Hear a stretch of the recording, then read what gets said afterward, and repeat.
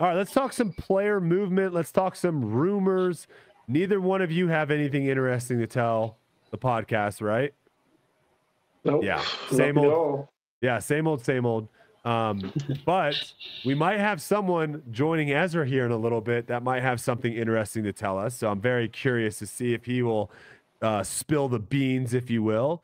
Uh, that's Hey, tr- that, that's not Tristan. be Ta- that's that's that's Tristan Tanner. Tristan Tanner is uh, leaving Latitude 64.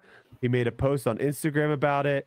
Again, kind of kind of Chandler Kramer esque. He he did not ask his followers where he should go. That would that would be the big difference. But there wasn't a hey, I'm leaving Latitude.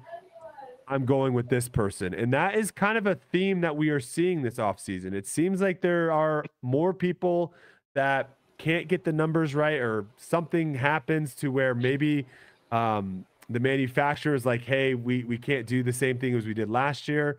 And so people are leaving and trying to find something else. We've seen a lot of people announce that they're leaving. We have not seen a lot of people announce where they're going. So, one that we did see though, Jakub, Jakub Semerád did resign with Latitude 64. Uh, we had Ben Callaway re-sign with Latitude, uh, with no, excuse me, with, Di- with Discraft, re-signed with Discraft. Uh, we have Chandler Fry, who this was a kind of a crazy one when I saw this because Chandler Fry, I really think of Discraft when I think of Chandler. So him leaving Discraft is is a crazy thing. I don't know where he'll I don't know where he'll end up, but he announces that he is leaving Discraft.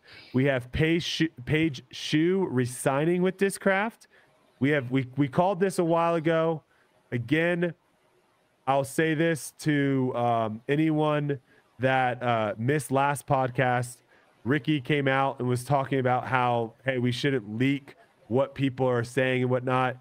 Emerson Keith was like telling people that he was leaving Lone Star. And then those people started telling other people, and the word got around. So we kind of knew this was happening. But Emerson Keith did announce officially on his Instagram that he is leaving Lone Star. That's Uh, today. I think. think I think that was Oh, this yesterday. week. I think that was Okay, this okay. week. I don't I don't know exactly if it was today or not. Um, then you have Hannah. I I always mispronounce her last name. Do you guys know how to pronounce Hoon? Hun, Who- that's what I've always heard. It's Yeah. great to me. I didn't even attempt it. Okay. Hannah Huynh is leaving West Side. So all those announcements, we either had people leaving or we had people re-signing. We never got anyone going somewhere else yet. And the big one that we're all waiting for is Eagle McMahon. And if you guys didn't have your 10, uh, 10 cap on last week for my conspiracy theory on Eagle, where I basically said he's retiring from disc golf and is going to try to be a professional uh, kendama, kendama Kendama. player. Yeah. Um, I've got a new thought this week. I have a new thought. And this was this was like a meme I saw posted somewhere. So that kind of got my head spinning and I was like, this actually makes a lot of sense. So you have MVP, poster boy, uh, po- poster boy, James Conrad. Okay, those are the discs that have the black rims. You have Axiom, poster boy, Simon Lizotte. Those are the discs that have colored rims. Streamline, not an overmold, also owned by MVP. This is all three of these different companies are all or you know are all under the same umbrella. There's no one for Streamline. Mm. Could we see Eagle fitting into Stream, Streamline? And now you've got the three headed dragon, James Conrad, Simon Lizotte, Eagle McMahon, all promoting different lines of MVP discs. Thoughts, boys? It's a good take. I feel like it's, I feel like that's more likely than him being a kendama player. But what do I know? Well, this is Uh, not a conspiracy theory. The last one was a conspiracy theory. Hey, just So- because it's conspiracy theory does not mean that it's not true, That is true. right? Just, hey, just saying. One thing I'll say, I think this is kind of funny. If that does end up happening, I think it'll be kind of a funny situation for Simon because uh, you know his whole big thing was, hey, I want a fresh start, I want something new, I want all these things going on, and he's gotten all that stuff. And it may be other than this, but like one of those things I think is like it's been the Crush Boys for so long, you know, him and Eagle, you know, playing together, and maybe his whole point was like, hey, I want I want a fresh start and like you know something different than that and then MVP signs him on, and then boom, Simon's like, "Come on, guys! Like, you're just gonna do me like that? Right back to the same thing." Well, I, I think. Know. I mean, I think with how much money MVP is paying Simon and how much money Simon is making MVP, I, I think he probably would have some sort of relationship with them on like, hey, at the end of the day, MVP is going to do what MVP is, is best suited for them but I don't think they would probably bring someone on that he was like super anti having. But uh, where I'll disagree with you there is because I think if Simon can be the axiom guy, that is a little bit of a separation where Discmania, everything was Discmania. Good and point. this to this to me feels almost kind of like Toyota and Lexus, right? Two people okay, right. one guy sponsored by toyota one guy sponsored by lexus. The same person is writing the checks for both but to the outside world the perspective it looks different. And i'm wondering do you guys see other manufacturers maybe going this route of like having different people for different lines? Well we've also seen the similar thing with um, trilogy um, yes, it's it's hard to like discount that. They've had the, that same thing going for a long time, and it's not quite at the extent that you're talking about because all three you know companies are defined and have multiple star players rather than just that one guy that's the face of it. But you know, I could see it going that way if you had like you know Matty O, Westside, you know Ricky on what's he on DD Dyna- right now? Dynamic, yeah. You know, I, I could see him doing that kind of thing where they get another guy to be their number one, you know, latitude you know whoever it is. I I don't know I think, anything. I so. think Latitude has well, a lot of the European players. Right. Well, now that's all House of Disc anyway, right? So isn't Correct. aren't those two companies this like kind of intertwined with Discmania and maybe like Kastaplast and a few other ones as well? Yeah, I think. So I think. Not, I don't know if that changes things. Well, I think prior the the trilogy was kind of intertwined because like some were making discs for one another, but they were they were separate. You right? Um, I, I believe if you guys are familiar with Hooligan Discs, they announced that they aren't going to have Lone Star make their discs anymore, right? So mm. in that situation, like Axiom can't just be like, I we don't want MVP making our discs anymore. Like MVP created Axiom, MVP created Streamline, where oh, yeah. these three were kind of separate, but then someone bought them out. So now they're kind of back in this this same world. So right. I I'm just wondering for like the, the big question here is more for like Innova and Discraft, right? right? These are like so the talking... two the two big dogs, and there's the balloons. Um, th- those are the two big dogs. Uh, do we see something? wait, wait. I'll give you this one. Let me give you this one. This is my favorite. Cool. This is oh. this is the fireworks. Can you do that too? So what you're saying is no, like, like Innova comes out with uh, another company that's like Halo, so like all their Halo plastic becomes you know one company, and then they've also got Innova on another company, and Something. they've created two like separate entities where they could have a, a person at the top of one and the other. Like, yeah, like what if Discraft was just like, hey, Discraft is going to be ESP and Z, like that is Discraft, and then mm. they they create a new line, and this new line is this plastic, and they maybe change the molds a little bit, like. I, I uh or they I'm go. Just, I'm just wondering. We've got McBeast and we've got Dark Horse plastic. Oh. Yeah, I'm just wondering if that if that maybe is a play because we've all we've always talked about that of like there is this kind of cannibalize cannibal that's such a hard freaking word for me to say cannibalize cannibalization. Yeah, I think I'm adding. You got it. I think, I think I added a syllable, but there is some of that at a certain point uh, where you you you have a team so much of where hey buy my disc buy my disc buy my disc buy my disc buy my disc and that one person can only buy so much. It's like well what if you were able to separate that to where now these guys are kind of separated a little bit these guys are separated a little bit. Now you can kind of be like oh well like i, I got to get this from over here but then i also got to get this from over here. It's a little bit easier i think but I mean, I think Discraft and Innova are still the big boys, so I, I, think they the way they're going is probably the way that the others will probably follow, or maybe not. At one point, Blockbuster was the big boy. Let's not forget. I think there is always going to be that that competition, though, even if you do separate stuff out. Like I think, yeah, I mean, yeah, I, th- I think I think there's always going to be that. So even if you're on the same team as somebody, there's going to be some cannibalization.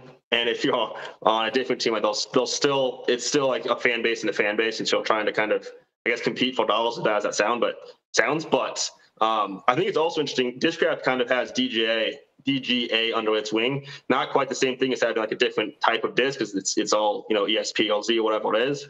But Innova kind of got away from that since they used to have Discmania, I believe. And now does does Innova even have? I guess does Innova make they just have um, disc? Millennium. Millennium. Millennium. Yeah. And yes. I think they do make okay. Infinite disc as well. I do think so. Yes. Okay. So that yeah. that that's the same relationship as like Discraft with DGA or Lone Star with Hooligan last year, of where at one point, you know, DGA can just say we're done, and we we're gonna make our disc ourselves. Or um, now, granted, I don't know who would own the molds and all that. That's a that's a completely different, you know, out of my realm. But yeah. I I thought this would be kind of the first time we saw this, where someone strategically, you know, they brought James Conrad, then they brought Simon Lizotte and then they bring Eagle. Like they strategically, it almost kind of like they plan this out of th- this is how we're kind of building our team. And uh, I'm just I'm curious as to see if others will follow suit. They probably planned out the holy shot too. They were like, "Hey man, you've just got to like throw in for the best shot ever thrown in the history of disc golf." This is and that'll great. We'll have enough money. The fans, you got the fans know what the script, dude. Come on. We'll have enough yeah, money to go out and go out and sign Simon. This would be great. This would be great. So, um, do, do, do Simon and James, or I guess any of the MVP guys, really promote the streamlined discs at all, or is it more just the the the MVP discs and the Axiom discs? I think I think time I think Simon's time lapse is streamlined. Okay. Yes. Could be. I don't really follow that. I, I, I, believe it is. So I, am sure. I'm sure there doesn't have. Uh, there's no rim on the on his. I don't think so. No. Okay. Um, I think. uh I think. Well, then if pro- you streamline, then it doesn't leave room for. Then what's Eagle? What's Eagle going to throw? Well, I think I think there is some like obviously a little bit of like, hey, we're over here, we're over here. People are saying no, it's Axiom. Okay, so uh, uh, yeah, I guess I guess everything is Axiom for Simon. Um, I, I, was I was wrong on that. Oh, it, it is it is like it is colored. We threw it. I think, at, yeah, uh, I think it's multicolored. Yeah, we threw it at um. Yeah, yeah, yeah. It's it is it is Axiom. Yeah, we threw it at um. Which we call it MVP in that video. Oh. That that's when he like we literally we saw oh, him right. throw it for like the first time in the whole one. Yeah. Yeah, yeah, yeah. Um, yeah. So I don't know. We'll we'll see kind of how this works out and how it plays out. It'll be very interesting to kind of I mean, again, this is all speculation. We don't know where Eagle's going, but you know, if we're lo- if you're looking at what Discmania has been doing the last few weeks, it really seems like they're kind of, hey, we've got Eagle for a few more weeks here. Let's try to get as much out of him as possible. That's what it kind of seems like. Um, they're really the only ones that you know, like Discraft's not really reaching out to us to be like, hey, we need you guys to start promoting this video and do this and do. They're not really like crunching us on a timeline right now where it seems like Eagles putting out a lot of stuff for them. So um, I think he, I think they just said something about the P2 today. I think he's in a video talking about the P2. You had something, oh, man? Yeah, I was going to touch on two things. These are a little while back, but I thought they were kind of fun to say. Uh, the first one is you're talking about how like uh, players are all announcing where they're how they're moving, but not like where they're going. And I think that that's just a really good like marketing thing where like at the end of the season, you know, in December you'll announce, "Hey, I'm leaving this team." And then, you know, January 1st, you're going to see tons of people being like, "Fresh year, fresh me. Here's my new starts at this company." Do you so think I that's think what's that, happening here though? I, I do. Um, I think a lot. I would be surprised if you had some of these players leaving their company and just saying they're leaving before having anything going you know, somewhere else. Well, that, que- that would well, surprise me. Well, que- well, question: If if this if Discraft would have came to you this offseason and said, "Hey, Aaron, listen, we love what you're doing, um, but you know we're just not able to give you the same deal next year as what you have now. You know, we're going to be able to only pay, we're gonna have to pay you 10% less. Uh, we're not gonna do as many runs for you, but we still want you on board. Are you taking that, or are you saying like I'm gonna risk it and see what else is out there? So in this hypothetical situation, I would probably say to Discraft, you know, this is what you want to hear is, you know, I, I would prefer to part ways. I'm going to go somewhere else. That's what I tell Discraft. But then I'm not going to post anything until I have a company that is like, hey, we want you here. And as Now, soon what as if- somebody, What if the company posts it? Now, if oh, the com- okay, if the that's a little company, different. but if the company posts it, is that kind of lead us to believe that they were just told the person we're not interested in re-signing you at all? Right? Because like like you just said, Right. if you were like, hey, I don't, I'm not going to resign with you guys. I'm going to go elsewhere. You're saying like I'm not going to make a post until I know what's going on. Yeah, that, But that- that's if- kind of the world I live in. But if you try- walked, yeah, if you walked into Discraft and be like, "All right, I'm ready for renegotiations. Uh, what are we doing?" and they're like, "Yeah, we're we're not interested." You're not gonna go and being like, "Guys, I'm leaving Discraft. I'm out." Right? You're probably gonna like be like, "Crap, I need to figure out where I'm going." So if the company Right. posts, if the company makes a post being like, "Hey, we're sad to see Gooseman go. He was awesome on the team," does that lead us to believe like it was more on the company side and not on the player side? That's an you just brought that up. I never even thought about that. It's a good point. I don't think I've ever seen a company do that. I think that anytime I've seen a company say, "Hey, we're so sorry to see so and so go," it's after the player has already come out with the same post. And I think so many times you'll see that. Um, I think, I, you know what I mean, where like someone will post like, "Hey," like Paul, he'll be like, "Hey, I'm leaving Innova. You know, so sorry. We've had some great memories." And then right after he posts that, Innova will come back and be like, "Thank you so much for being on our team. You know, we've got tons of respect for you." So I, I've never actually seen the company go first. But then again, I don't keep track of a lot of things, so it may happen all the time. It's tough. It's tough to know exactly what who posts first. But I'm saying I'm wondering if, if there are people out there. We have a, a lot of people that listen to this podcast. Let's do some investigating. Go look around and see who's posting first. What's happening? Is someone having to post because someone else posted? That would be kind of an think most- interesting way. I think most of the time it probably is like the correct order of events. But I, didn't uh, something happen with Matty O like two years ago when he went to West Side, West Side? Where like I think Yes. maybe Prodigy released something like way too soon and people got pissed off and stuff. So I think it does happen. And then I, I, I, I don't know. I guess I would assume that as far as people leaving sponsorships now, I think it probably happens both ways. Where it's- sometimes it's the player saying this isn't going to work for me, and sometimes it's the company just saying, "Listen, we can't afford you anymore." Like, I, honestly, I think the economy is kind of tough right now for, for companies, and disc golf's not maybe growing as fast as it was two years ago, and so those those are some setbacks. So it's kind of a tough, kind of a tough season for transferring sponsorships. For And- and playoffs, I at would- least. I would say it's never like one side or the other. Um, I think it's the that mutual. It's a contract, you know. So it's like if Discraft came to Yep. me and said, "Hey, you know, we can't pay you any money, but we'll put you back on a structure where we'll, you know, we'll pay your entry fees and give you bonuses if you win tournaments. You know, hundred allotment for the year." Then I would be like, "Hey, I can't do that. I got to go find somewhere else." So at the end of the day, you know, Discraft's offering me less, and I want more, and that just doesn't match up. So then I would go somewhere else. But you know, the same thing could be true on the other end, where I'm like, "Hey, I won, you know, three tournaments last year. You need to pay me more," and they're like, "Hey, we can't afford to pay you anymore, but we'll give you the exact same salary as last year." Again, I might go somewhere else, but it, to me, it's it's the the mutual, you know, it's it's contract, you know, between two, two different things. entities. Yeah. But Yeah. We'll, we'll see how it plays out. I mean, I kind of I kind of had this idea that some of these contracts for certain players were a little bit maybe inflated for what their value actually was, and these companies at that time, like any you put anyone's name on a disc and it was selling. And so Mhm. maybe there was this idea a little bit of like, holy cow, we've got let's sign this guy, let's sign this guy. And now I think we're starting to see a little bit more of wait a second, this is actually what makes sense. And so there might be some kind of realization of where if you're like the 20th guy in the world and you know what the 19th guy in the world is making, and uh, but he signed their contract a few years ago, and you're like, well, I'm I'm gonna go find that, and you go out there, Mhm. you're like, it, it might not be out there anymore. Like there might be a little bit of a we're kind of falling back into where we're at. So it'll be interesting to kind of see. Um, Ezra, definitely let us know when Tristan comes in if he if he has anything Yeah, to we- say. We hyped him up. He's gonna feel pressure to. Well, I guess he's probably not watching this. He he probably doesn't know, but he's, he's gonna like No, feel pressure no to idea. make an Well, announcement. He has I, no. I got I got something to say about Tristan too. Um, I, I think this is kind of interesting.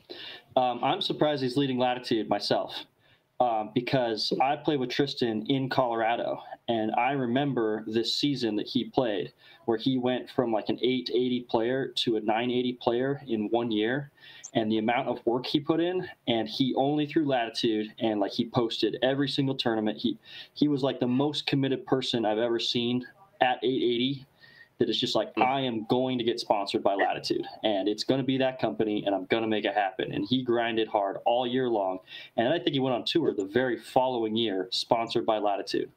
So um, it, it was an interesting thing because like I saw that whole progress of him like working to like get that sponsorship, and it was exactly what he wanted. You know, the company he was looking for, and all the work he put in. And so it, it's interesting to see him make that post of he's he's moving away from it. But I I guess everybody's got their got it. Well, you know, well, everything what if- changes. again, what if this was like Latitude's decision of like, hey, we're you know, House of Disc being like, hey, we want Latitude to be more of our international brand, right? Mhm. We're gonna Right. we're gonna be signing more of it. I mean, what if Discraft Aaron was like, hey, everyone under six feet, we're not signing anymore? What would happen? what would happen to Hey, you? man, I'm six feet tall. Like, Come what on. what would happen to you? Cut me some slack, bro. Oh, there goes the balloons.